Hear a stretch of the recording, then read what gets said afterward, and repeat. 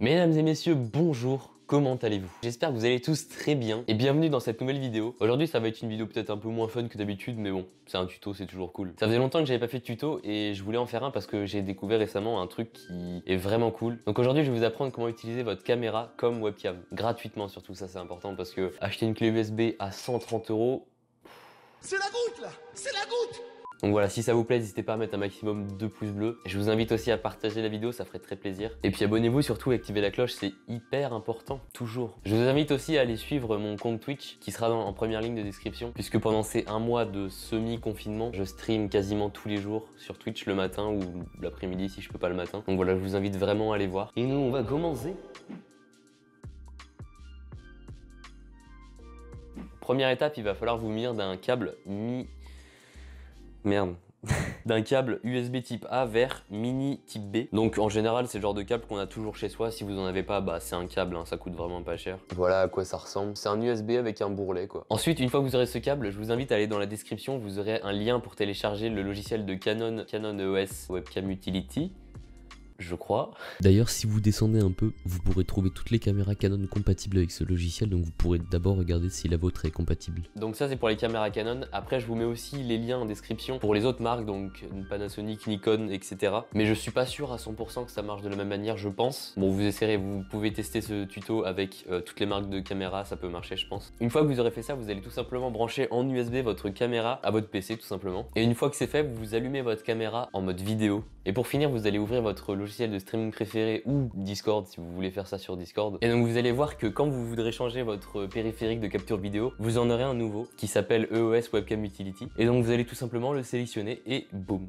comme par magie, votre caméra s'est transformée en webcam. Pour ma part, je l'ai fait sur OBS parce que c'est le, logiciel que j'utilise. Par contre, il y a juste un truc dans OBS. Quand je mets en périphérique de vidéo webcam EOS e Utility, le format c'est pas 1920 par 1080, c'est un peu moins. Euh, c'est au-dessus de 720p, mais c'est bizarre. Mais de toute façon, même si vous même si vous étirez en 1920 par 1080, en stream, on verra vraiment pas la différence. Et même en enregistrement vidéo, euh, ce sera toujours de super bonne qualité.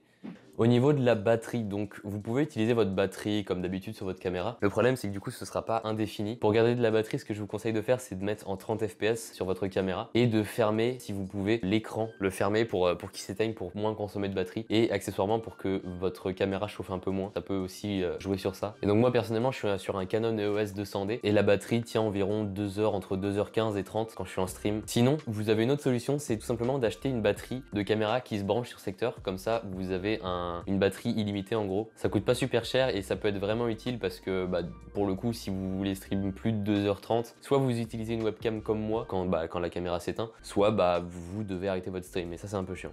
Alors là, vous allez peut-être me dire que c'est peut-être moins efficace que si on achète un Camlink, on le branche, etc. Euh, franchement, non. Ça fait une semaine et demie que je l'utilise tous les jours et euh, bah, j'ai vraiment pas ressenti de différence. Enfin, il n'y a pas de bug en fait. La caméra est plutôt fluide. Enfin, j'ai peut-être eu, allez, euh, une ou deux fois des petites, des petites saccades, des trucs comme ça, mais c'est vraiment minime. Je dirais que pour débuter, c'est la meilleure des façons. Alors après, peut-être que je ne le sais pas, mais ça change vraiment quelque chose d'avoir un Camlink. J'en sais rien. Mais en tout cas, pour débuter, si vous voulez débuter, que vous avez une caméra la caméra, tu sais pas, de votre papa, de votre tonton, de votre... j'en sais rien. Et bah je vous invite à utiliser cette technique. Ça peut être vraiment, vraiment utile et c'est vraiment rentable, puisque c'est gratuit.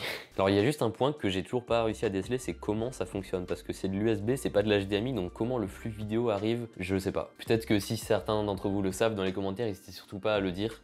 Il y a peut-être un inconvénient à, à cette technique. Peut-être certains d'entre vous utilisent le logiciel Nvidia Broadcast s'ils ont une RTX, qui permet tout simplement avec votre caméra de flouter l'arrière-plan, de de, changer l'image de l'arrière-plan, de supprimer l'arrière-plan. Et le problème, c'est que EOS euh, e Webcam Utility n'est pas détecté par euh, Nvidia Broadcast. J'ai déjà essayé. Peut-être que certains d'entre vous, ça marchera. Je ne sais pas, moi, ça marche pas. Donc, je pars du principe que ça ne marchera pour personne. Mais donc, voilà, si vous vouliez utiliser Nvidia Broadcast avec votre caméra et cette technique-là, ça marchera probablement pas. Je vous mets quelques exemples de mes streams pour que vous vous rendiez un peu compte de ce que ça peut donner. Voilà, je vous le mets en fond pour que, pour que vous voyez bien à quoi ça peut ressembler. D'ailleurs, n'hésitez pas à aller sur mon compte Twitch en description. Bon bah voilà, la vidéo est terminée. Si elle vous a plu, n'hésitez surtout pas à mettre un maximum de pouces bleus, ça ferait vraiment plaisir. N'hésitez surtout pas à partager cette vidéo. Peut-être vous avez des potes streamers qui veulent utiliser leur caméra mais ils ont pas de camlink. N'hésitez surtout pas à vous abonner surtout et à activer la cloche des notifications, c'est c'est encore plus important que s'abonner. si tu t'abonnes mais que tu reçois pas les notifs, ça sert pas à grand chose, tu vois. Enfin, en tout cas, moi, je vous souhaite une très très bonne journée, une très très bonne soirée. Je sais pas, peut-être vous êtes le soir, je n'en sais rien. Ou peut-être que vous venez du Québec et que du coup, le fuseau horaire est différent. Ah oui, et n'hésitez surtout pas à aller voir mon compte Instagram dans la description également. Mais en tout cas, moi, je vous dis à très bientôt pour une prochaine vidéo. Portez-vous bien. Je vous fais la bise.